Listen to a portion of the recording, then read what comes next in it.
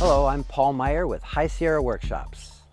With the Sunny 16 Basic Daylight Exposure Rule, your subject has to be lit by sunlight in order for the exposure to be correct.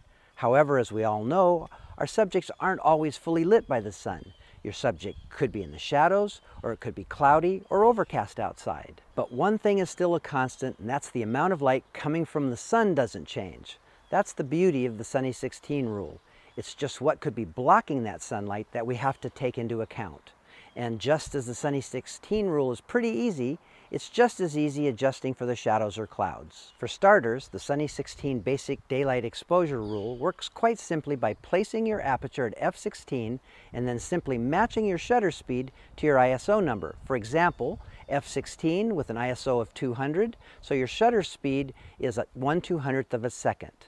This works if your subject is lit by direct sun, allowing the shadows in the scene to fall as they will. But if your subject is in the shadows, or it's overcast, we need to compensate. If your subject is in the soft shadows where sunlight is reflecting in or it's hazy outside, you open up, letting in two stops of more light. To do this, you can use your ISO, aperture, or shutter speed.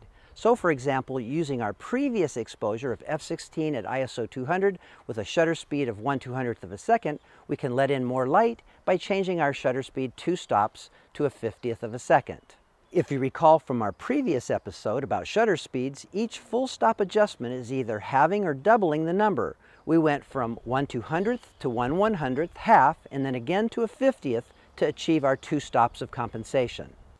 If your subject is in open shade, meaning that there's still light surrounding the open shade subject area, or it's cloudy, bright light, then you compensate by opening up, letting in more light by three stops. If it's overcast or solid clouds outside, or your subject's in heavy shade, then you compensate by opening up, letting in more light by four stops. Note that with the exception of the Sunny 16 basic daylight exposure rule, all other exposures are approximate and could require slight adjustments based on the individual scene conditions. But the key here is that you're taking back control from the camera and truly setting the exposures you see and want for your scene. Thanks for joining us, and we'll see you on the next episode of HSW TV.